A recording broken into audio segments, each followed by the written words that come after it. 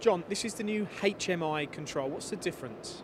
Well, the difference is that Fanuc are bringing in more um, usable exposure from high end of that nature. They're namely bringing in Vericut that will be on board or be able to be brought on board.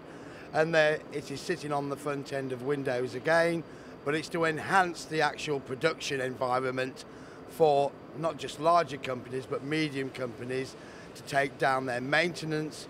Namely, it's all on board that it shows you things like fans, how long they're lasting. You can plan your um, maintenance a lot better, more economically.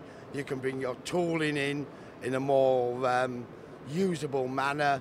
And of course, we can still also use it in the manner that people are used to, namely the older FANUC displays are still there for the backward compatibility.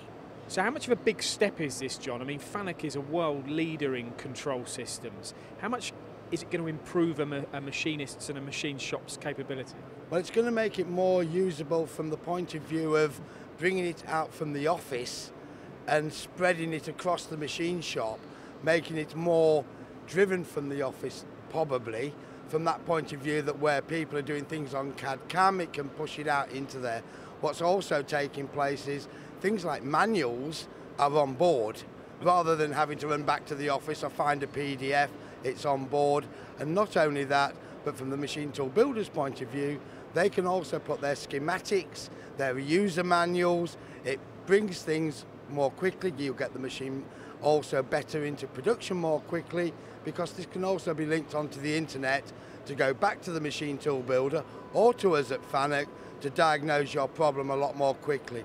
We're trying to basically push things to keep the thing in production and keep economics going better as well. What about processing time and speed? I mean, that's important. An engineer wants to know if he can, if this is going to improve his production. Is it?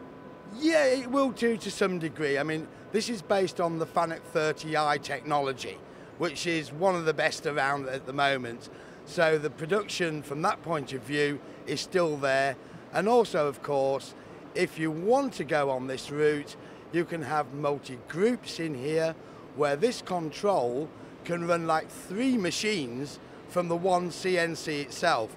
So if you wanted to build, example, a machining cell with three or four machines all being run from this control, from a production and cost point of view, it brings the costing down. So on a brochure or a presentation document, you might have four or five bullet points about a product. Yeah. What would they be on this? Well, multi-machining capability, multi-path, multi-axis, 40 odd plus axis availability, high speed, and of course, from the point of view of better maintenance capability for the end user and from the machine tool builder, and of course from FANUC ourselves, we can dial in and look at it.